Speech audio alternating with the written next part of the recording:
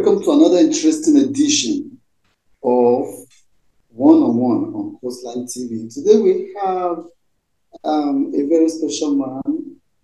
It's a man that has been working assiduously and tirelessly under the ground in the oil and gas sector. Uh, I'm talking of no one else from the uh, but um, the MD CEO of Solaj Oil and Gas Services Limited, he's been around for quite some time, you know, a well-traveled man, and um, someone that is referred to as a person who knows his onions when it comes to the business of oil and gas in Nigeria.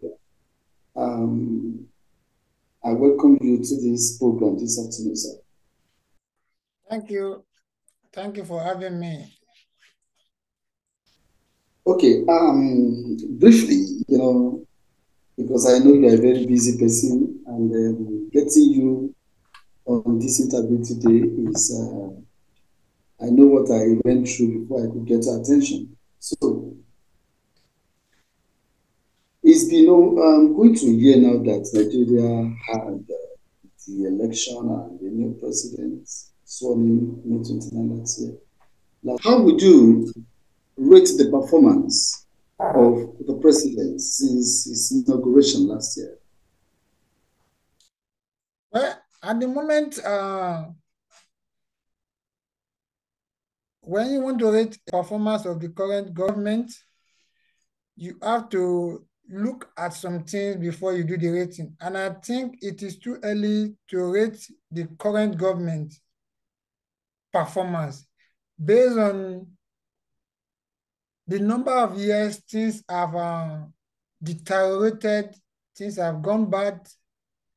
They can't just come into the into the power within one year and you expect a a miracle. So to me, I would say you should give them a little bit time before you can start rating because sometimes there are some things you are doing underground. It will take a while before it come to the limelight or come to the open or before you see the result. But so far so good. I so far so good. I think they are they are trying to put the pieces back together. That's all I can say about the rating at the moment. All right, thank you very much. Um, before the election, we know that all the major contestants, talking about the president himself, um, former vice president um, Alhaji and uh, the former governor of Anambra State, that's uh, uh, His Excellency uh, Peter Obi. You know, all of them during their campaigns, they said they were going to remove subsidy, and uh, on the day of inauguration of the president, they removed the subsidy. Do you think that was a good move? To me, it's a good move, uh, and it is long overdue. In the sense that um, subsidy on fuel have been a way of enriching a few number of people cabal. Let me put it that way. I'm not against the subsidy. And there is no how government all over the world, they don't subsidize one item or the other. But subsidy on the fuel and petroleum product in Nigeria is a fraud on its own. So I support the move and it's long overdue. All right, thank you very much. I, I like your responses as uh, they are brief. It shows that um, you, you're really a good manager of time.